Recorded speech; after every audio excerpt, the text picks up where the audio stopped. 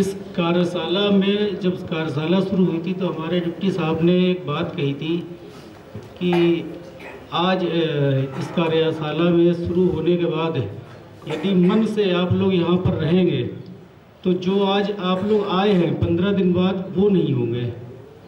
और मुझे भी ये बात लगती है कि हमारे जो भाई हैं, जैसे वो आए थे, आज वो तो नहीं है। रेशियो थोड़ा कम ज़्यादा ज़रूर हो सकता है, लेकिन वो चीज़ नहीं है। और बदलाव चेंज दरअसल शब्द नहीं है, इन जो चीज़ें जो कार्यशाला में हमने गुणों को सीखा है, महसूस किया है शब्द नहीं उन गुणों के बखान करने के लिए हमारे पास कि जीवन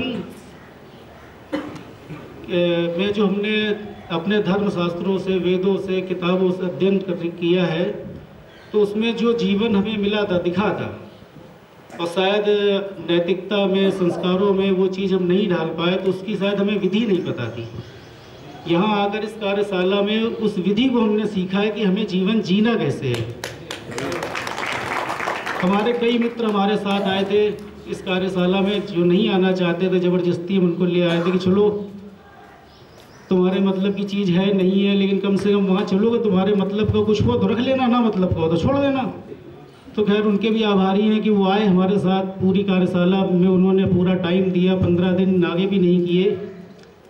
और आज हमारे उन मित्रों में जो बदलाव है, उसे देख के सबसे ज़्यादा खुशी हमें महसूस होती है कि वो वाकई बदले हैं। उनमें कई चीज़ों का बदलाव आए, कई लोग डिप्रेशन में थे, उनके डिप्रेशन खत्म हो गए। एक मित्र हमारे ऐसे थे जिन्होंने जीवन जीने की इच्छा ही छोड़ दी थी।